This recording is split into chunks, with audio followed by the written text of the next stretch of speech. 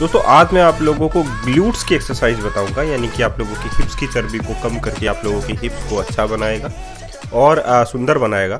तो आजकल जो है ट्रेंड है, आप लोगों को पता है बूटी वर्कआउट्स के लिए। तो डिफरेंट टाइप्स के बूटी वर्कआउट्स हैं जो कि ऑलरेडी लोग कर भी रहे हैं। आप लोगों को कुछ ऐसी ही ग्लूट्स एक्सरसाइज बताऊँगा। तो जैसे कि बैक की एक एक्सरसाइज है, बहुत अच्छी एक्सरसाइज है, आप लोग इसको कर सकते हैं। अपने ग्लूट्स को सुंदर बनाने के लिए मसल्स को मज़बूत बनाने के लिए। तो जो ग्लूट्स की मसल्स होती हैं, वो है ग्लूट्स मीडियस आप लोग देख रहे हैं।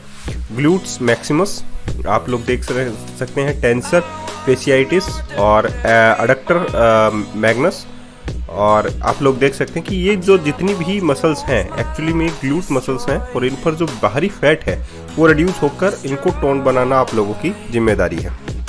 तो 40 सेकंड के लिए आप लोगों को फ़र्स्ट एक्सरसाइज करना है। इस एक्सरसाइज में आप लोगों को क्या करना है?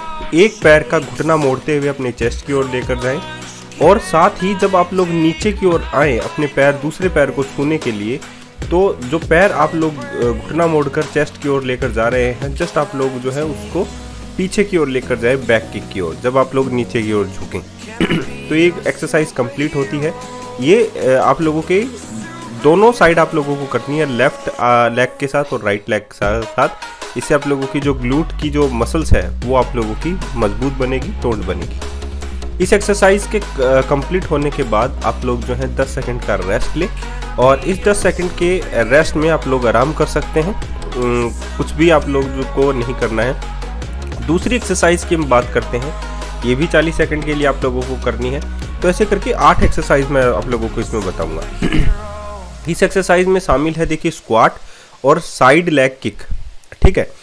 तो स्क्वाट आप लोगों को करना है, लेकिन दोनों पैरों के बीच में थे कि देखिए थोड़ा सा गैप होना चाहिए।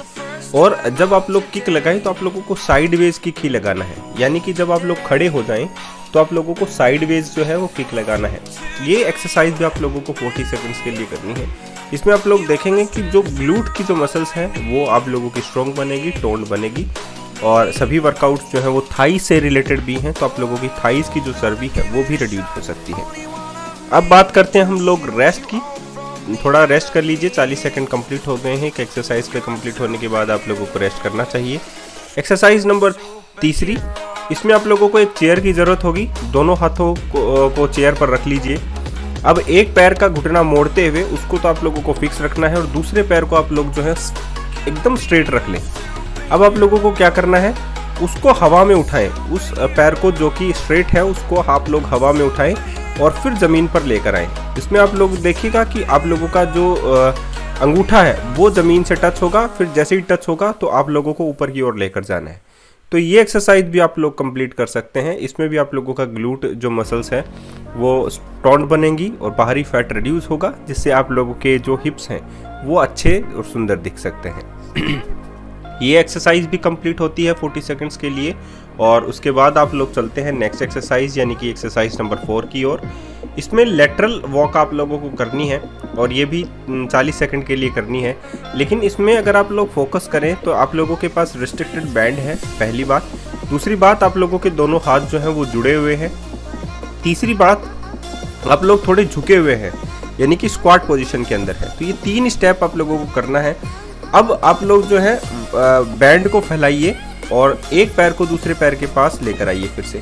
फिर से बैंड को फैलाइए, फिर अपने एक पैर को दूसरे पैर के पास लेकर आइए। इस प्रकार की वो कंप्लीट होती है और 40 सेकंड के लिए वो आप लोगों को करनी है। और इसमें भी आप लोग देखिएगा कि सबसे ज़्यादा जो टारगेट मसल्स हैं, वो आप लोगों की हिमस्ट्रिंग यानी कि थाइस मसल्स हैं और ग्लूट मसल्स हैं। अब रेस्ट ले लेते हैं 10 सेकंड का और उसके बाद में हम लोग स्टार्ट करते हैं फिफ्थ नंबर एक्सरसाइज इसमें भी लेटरल वॉक है, लेकिन ये डिफरेंट टाइप्स की लेटरल वॉक है। इसमें आप लोगों को लेफ़्ट टू राइट वॉक करना है और थोड़ा सा झुककर वॉक करना है। हाथों की पोजीशन सिमिलरली आप लोगों की पहली एक्सरसाइज की तरह ही रहेगी। पैरों की जो पोजीशन है, उसमें आप लोगों का हमेशा पैर जो है वो वाइड ही रहेंगे। पहले वाली में आप लोग देख सकते थे कि एक पैर जो दूसरे पैर के पास आ जाता था, लेकिन इसमें थोड़ा वाइड ही रहेंगे। थोड़ा सा झुकना भी आप लोगों को, यानी कि स्क्वाट पोजीशन में भी आप लोगों को रहना है। तो इस एक्सरसाइज को भी आप लोग कितने सेकंड के लिए करें? 40 सेकंड के लिए।